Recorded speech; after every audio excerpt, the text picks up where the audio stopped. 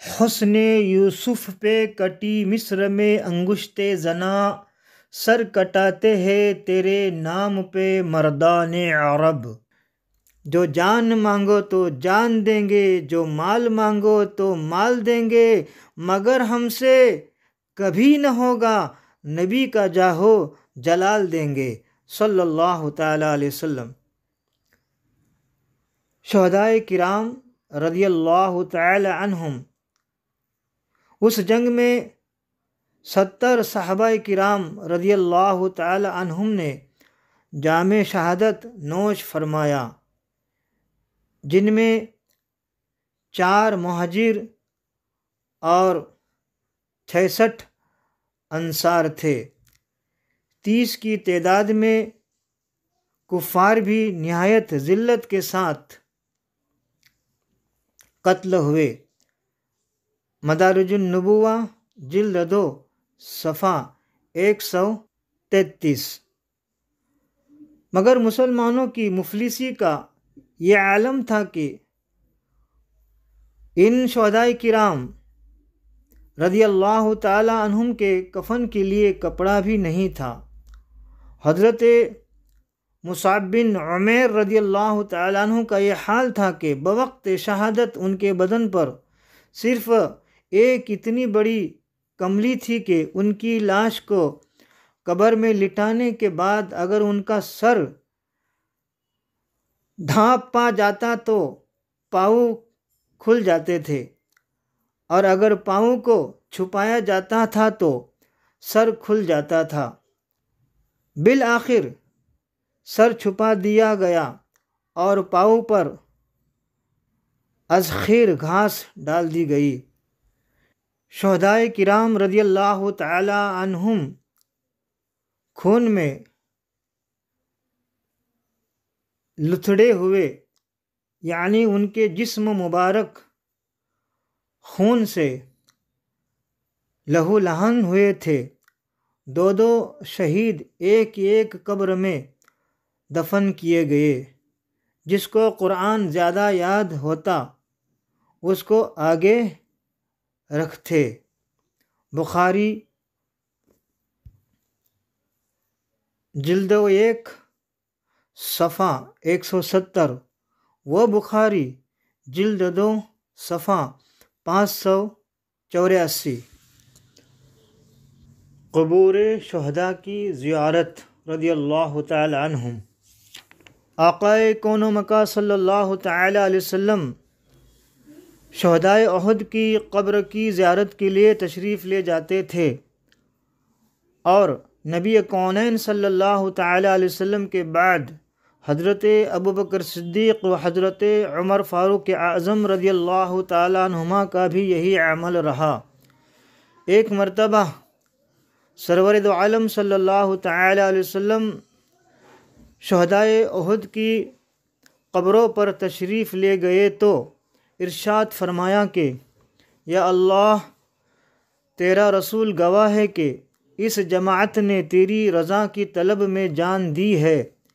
फिर ये भी इरशाद फरमाया कि, क़यामत तक जो मुसलमान भी इन शहीदों की कब्रों पर ज़्यारत के लिए आएगा और उनको सलाम करेगा तो ये शहदाय किराम रदी अल्लाह तहुम उसके सलाम का जवाब देंगे। चुनानचा हज़रत फ़ातिमा ख़ज़ाइया रदी अल्लाह तह का बयान है कि मैं एक दिन अहद के मैदान से गुज़र रही थी। हज़रत हमज़ा रदी अल्लाह तु की कब्र के पास पहुँच कर मैंने अर्ज़ किया असलका या अम्मा रसूलिल्लाह। ए रसूलुल्लाह सल्लल्लाहु अलैहि वसल्लम के चचा, आप पर सलाम हो। तो मेरे कान में आवाज़ आई कि वालेकुम वरहमतुल्लाहि व बरकातुह। मदारजुलनबुआ जिल्द दो सफ़ा एक सौ पैंतीस। हयात शहदा। छियालीस बरस के बाद शहदाय अहद की बाज़ कब्रें खुल गए तो उनके कफन सलामत और बदन तरो ताज़ा थे और तमाम अहले मदीना और दूसरे लोगों ने देखा कि शहदाय किराम अपने ज़ख्मों पर हाथ रखे हुए है और जब ज़ख्म से हाथ उठाया तो ताज़ा खून निकलकर बहने लगा। मदारजुलनबुआ जल्द दो, सफ़ा एक सौ पैंतीस। काब बिन अशरफ का कत्ल। यहूदियों में काब बिन अशरफ बहुत ही दौलतमंद था। यहूदी और यहूद के मजहबी पेशवाओं को अपने ख़जाना से तनख्वाह देता था। दौलत के साथ शायरी में भी बहुत बाकमाल था, जिसकी वजह से न सिर्फ़ यहूदियों बल्कि तमाम कबाइल अरब पर उसका एक ख़ास असर था। उसको आक़ कौन मका सल्लल्लाहु अलैहि वसल्लम से सख्त अदावत थी। जंग बदर में मुसलमानों की फ़तह और सरदारा ने क़ुरैश के कत्ल हो जाने से उसको इंतहाई रंज सदमा हुआ। चुनानचा ये क़ुरैश की ताज़ियत के लिए मक्का गया और कुफ़ार क़ुरैश का जो बदर में मकदूल हुए थे, ऐसा पुरदर्द मरसिया लिखा कि, जिसको सुनकर सामाइन के मजमा में मातम बरपा हो जाता था। उस मरसिया को, ये शख्स कुरैश को सुना सुना कर ख़ुद भी ज़ार ज़ार रोता था और सामईन को भी रुलाता था। मक्का में अबू सुफियान से मिला और उसको मुसलमानों से जंग बदर का बदला लेने पर उभारा। बल्कि अबू सुफियान को लेकर हरम में आया और कुफ़ार मक्का के साथ ख़ुद भी काबा का गिलाफ पकड़कर अहद किया, यानि इरादा किया कि मुसलमानों से बदर का ज़रूर इंतकाम लेंगे। फिर मक्का से मदीना लौट कर आया तो आक़ कौन मक्का सल्लल्लाहु अलैहि वसल्लम की हिज्जू लिख कर शान अकदस में तरह तरह की गुस्ताखियाँ और बेअदबियाँ करने लगा। उसी पर बस नहीं किया, बल्कि नबी कौन सल्लल्लाहु अलैहि को चुपके से कत्ल करा देने का कसद किया, यानि इरादा किया। काब बिन अशरफ यहूदी की ये हरकत सरासर उस माहिदा की खिलाफ वर्जी थी, जो यहूद और अंसार के दरमियान हो चुका था कि मुसलमानों और कुफार क़ुरैश की लड़ाई में यहूदी गैर जानबदार रहेंगे। बहुत दिनों तक मुसलमान बर्दाश्त करते रहे। मगर जब बानी इस्लाम सल्लल्लाहु अलैहि वसल्लम की मुक़द्दस जान को ख़तरा लहक हो गया तो हज़रत मोहम्मद बिन मुसलिमा ने हज़रत अबू नाइला व हज़रत उबादा बिन बशीर व हज़रत हारिस बिन ओस व हज़रत अबू अबस रज़ी अल्लाह तुम को साथ लिया और रात में काब बिन अशरफ के मकान पर गए और रबीउल सन हिजरी तीन को उसके किला के फाटक पर उसको कत्ल कर दिया और सुबह को बारगाह रिसालत में हाजिर होकर उसका सर ताजदार दो आलम सल्लल्लाहु अलैहि वसल्लम के कदमों में डाल दिया। इस कत्ल के सिलसिला में हज़रत हारिस बिन ओस रदी अल्लाह तु तलवार की नोक से ज़ख्मी हो गए थे। मोहम्मद बिन मुसलिमा वग़ैरह उनको कंधों पर उठाकर बारगाह रिसालत में लाए और आका कौन मका वसल्लम ने अपना लुआब दहन यानी थूक मुबारक उनके ज़ख्म पर लगा दिया तो उसी वक्त शिफाए कामिल हासिल हो गई। जुर्क़ानी जिल्दों सफ़ा दस, व बुखारी जिल्दों सफ़ा पाँच सौ छिहत्तर, व मुस्लिम सफ़ा एक सौ दस।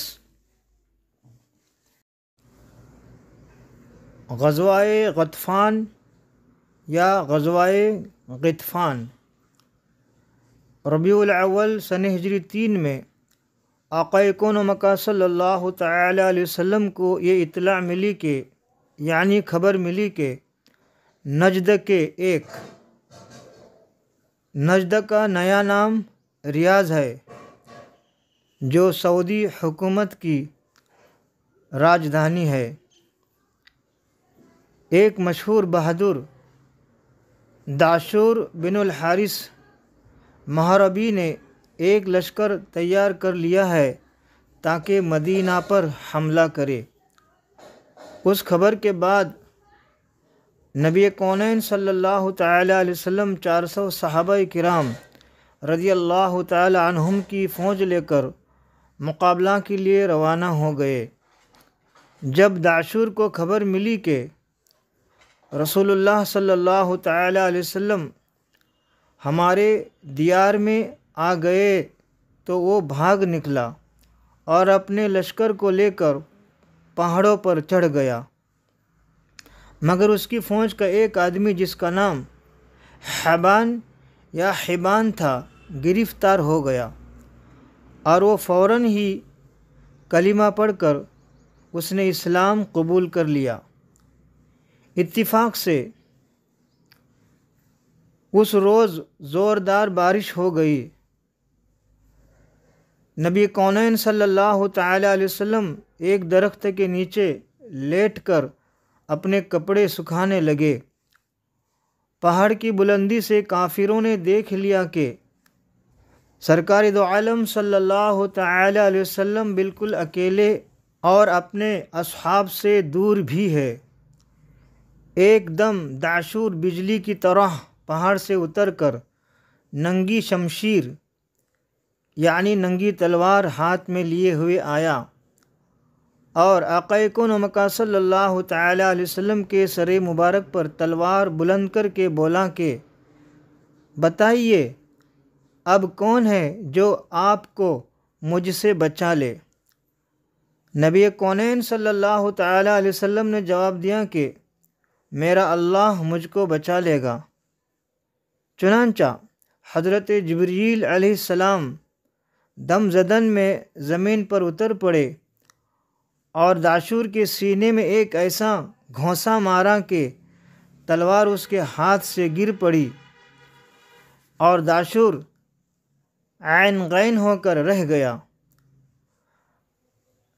नबी कौन सल्लल्लाहु अलैहि ने फ़ौर तलवार उठा ली और फरमाया कि बोल अब तुझको मेरी तलवार से कौन बचाएगा? दाशुर ने कांपते हुए भर्राई भर्राई हुई आवाज़ में कहा कि, कोई नहीं। रहमतुल्लिल सल्लल्लाहु अलैहि वसल्लम को उसकी बेकसी पर रहम आ गया और आका कौन मका सल्लल्लाहु अलैहि वसल्लम ने उसका कसूर मुआफ़ फरमा दिया। दाशुर, उस अखलाक नबूत से बेहद मुतासर हुआ और कलमा पढ़कर मुसलमान हो गया और अपनी कौम में आकर इस्लाम की तबलीग करने लगा। उस गजवा में कोई लड़ाई नहीं हुई और अक़ैकुन मका सल्लल्लाहु अलैहि ग्यारह या पंद्रह दिन मदीना शरीफ से बाहर रहकर फिर मदीना शरीफ आ गए। ज़ुरक़ानी जिल्द दो सफ़ा पंद्रह व बुखारी जिल्द दो सफ़ा पाँच सौ तेरह। बाज़ मौरखीन ने उस तलवार खींचने वाले वाक़ को गजवाए ज़ातुर रक़ा के मौका पर बताया है। मगर हक़ यह है कि तारीख़ नबवी में उस किस्म के दो वाक़ात हुए हैं। गजवाए गतफ़ान के मौका पर सर अनवर के ऊपर तलवार उठाने वाला दाशुर बिन हारिस महारबी था, जो मुसलमान होकर अपनी कौम के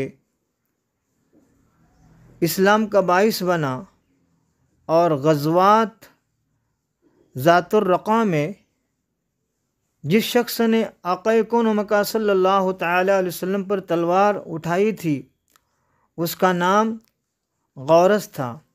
उसने इस्लाम कबूल नहीं किया, बल्कि मरते वक्त तक अपने कुफ्र पर आड़ा रहा। हाँ अलबत्ता उसने ये माहिदा कर लिया था कि वो आक़ मका सल्लल्लाहु अलैहि वसल्लम से कभी जंग नहीं करेगा। जुर्क़ानी जिल्दों सफ़ा सोलह। सन हिजरी तीन के वाक़ात मुतफ़रक़ा हिजरत के तीसरे साल में मंदरजा झील वाक़ात भी ज़हूर पजीर हुए। नंबर एक, पंद्रह रमज़ान सन हिजरी तीन को हज़रत इमाम हसन रदी अल्लाह तु की विलादत हुई, पैदाइश हुई।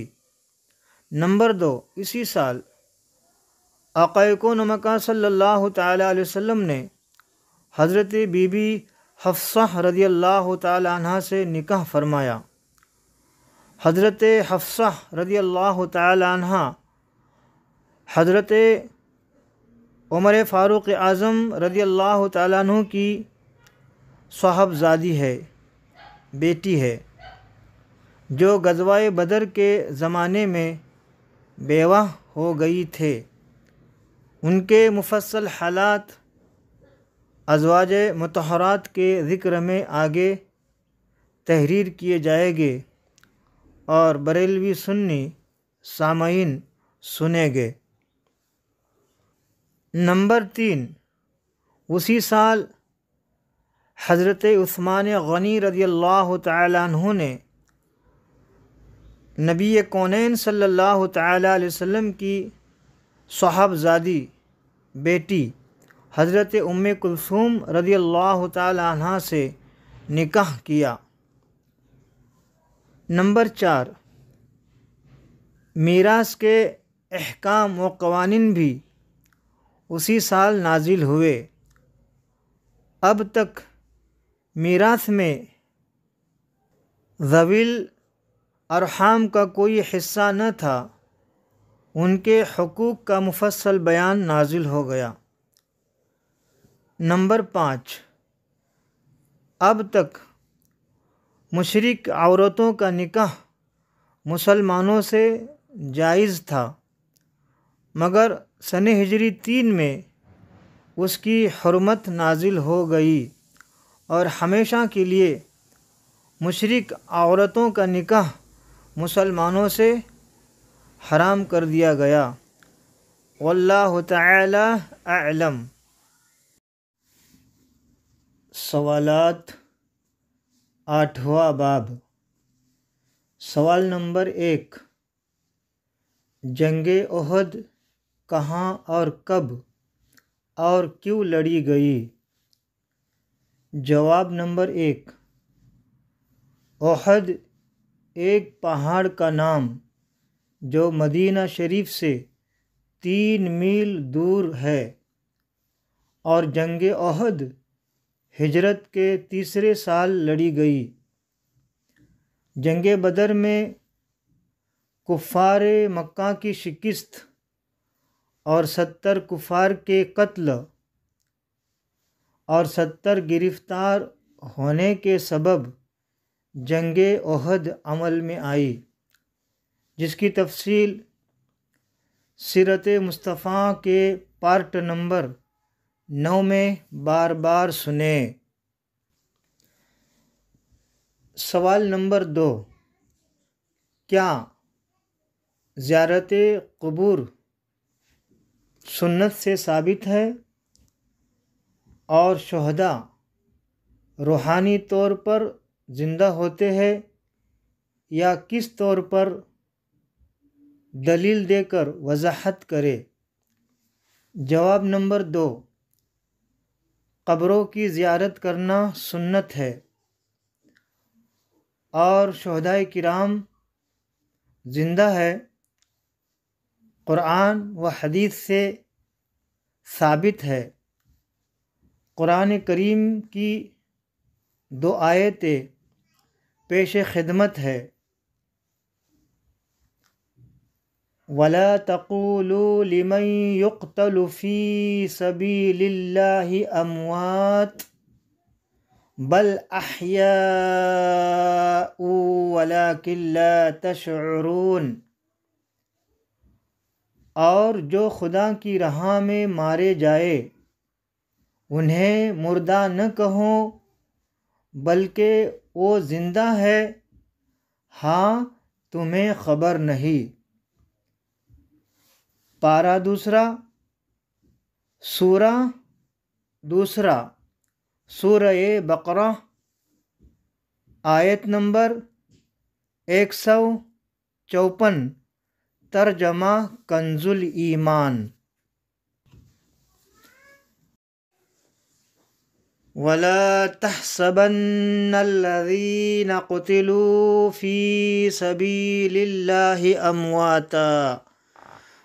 बल अहियाउन रब्बिहिम युरज़क़ून और जो अल्लाह की राह में मारे गए हरगिज़ उन्हें मुर्दा ख्याल न करना बल्कि वो अपने रब के पास ज़िंदा है रोज़ी पाते हैं चौथा पारा, तीसरा सूरा सूर आल इमरान, आयत एक सौ उनसत्तर, तर्जमा कंजुल ईमान। सवाल नंबर तीन, काब बिन अशरफ कौन था और जंग बदर में मुसलमानों की फतह के नतीजे में उसका रद्द अमल क्या था? जवाब नंबर तीन, काब बिन अशरफ यहूदी था दौलतमंद था। यहूदी पेशवाओं को अपने ख़जाना से तनख्वाह देता था।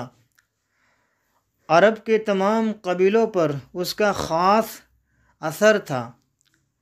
आका मौला सल्लल्लाहु अलैहि वसल्लम से सख्त दुश्मनी करता था। क़ुरैश की ताज़ियत के लिए मक्का गया और कुफ़ार क़ुरैश का जो मैदान बदर में कत्ल हुए थे।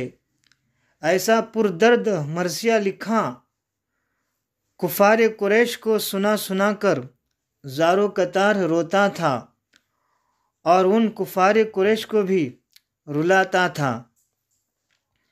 और उसने अबू सुफियान से मुलाकात की और उसको मुसलमानों से जंग बदर का बदला लेने के लिए उभारा, यानी तैयार किया।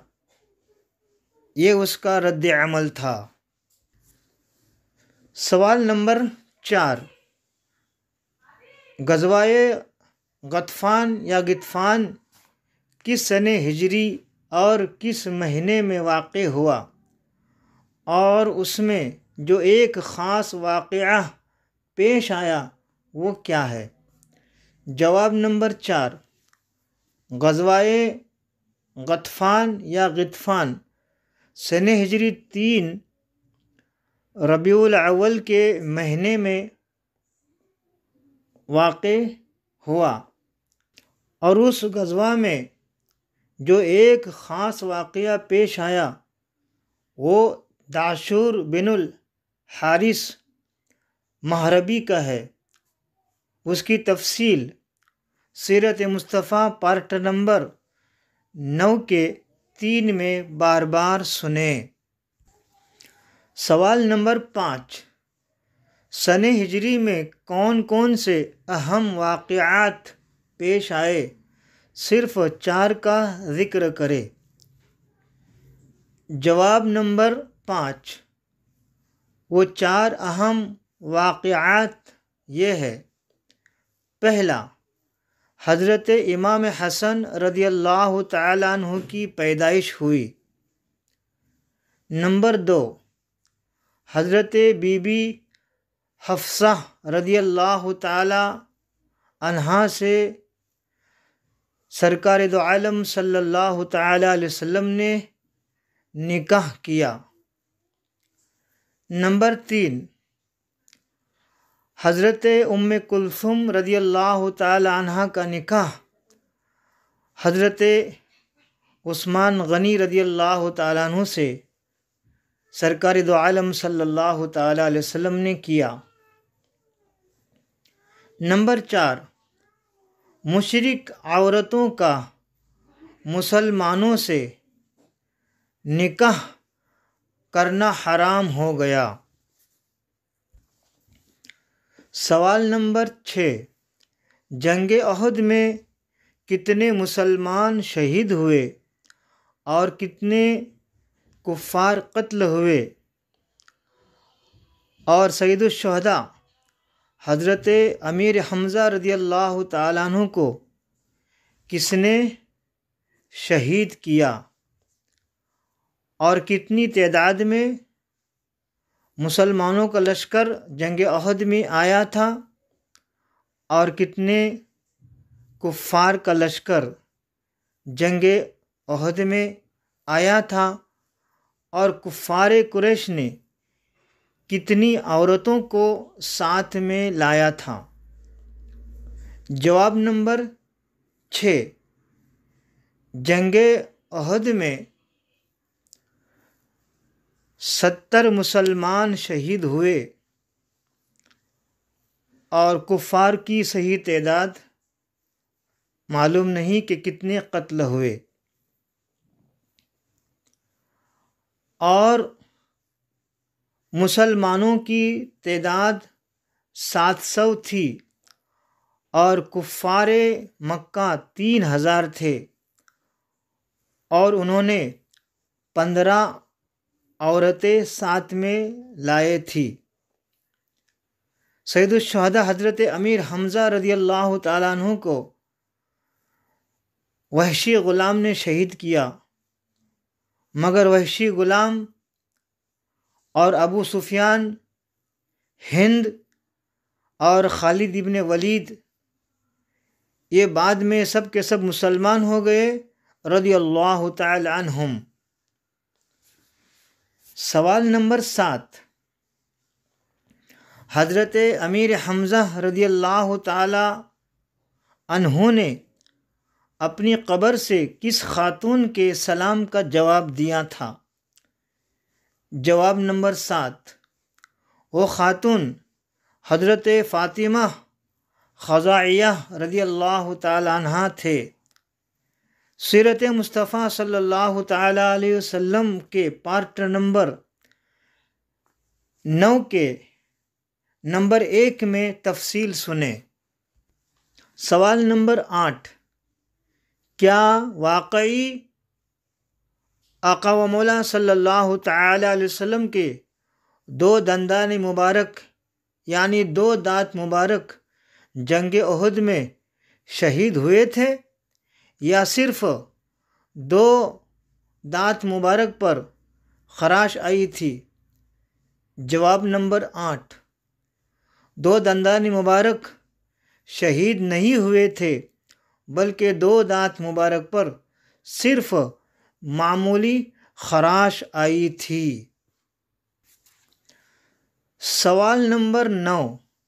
जंग अहद में जिस दर्रा यानी जिस जगह पर पचास तीर अंदाज मुकर किए थे, उनका अफसर कौन था? जवाब नंबर नौ। अफसर का नाम नाम मुबारक हज़रत अब्दुल्ला बिन जुबैर रदी अल्लाह था। सवाल नंबर दस। गसीलमलाइका किस सहाबी रदी अल्लाह तहों को कहा जाता है? जवाब नंबर दस। हज़रत हंजोला रदी अल्लाह तु को गसीलुल मलाइका कहा जाता है, जिसकी तफसील सिरत मुस्तफ़ा सल्लल्लाहु अलैहि वसल्लम के पार्ट नंबर नौ में बार बार सुने। सवाल नंबर ग्यारह, जंग अहद में कौन से मुसलमान मुसलमानों की तलवार से शहीद हुए? जवाब नंबर ग्यारह, हज़रत यमान रदी अल्लाह तु सवाल नंबर बारह हज़रत मुसाब बिन उमर रदी अल्लाह तु कुछ किसके मुशाबह थे? जवाब नंबर बारह।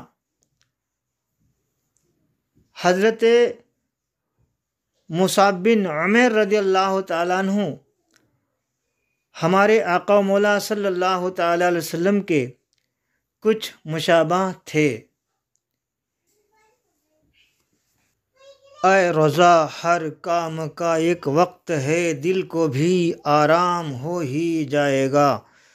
फैज़ रज़ा ता क़यामत तक जारी रहे। रदी अल्लाह तु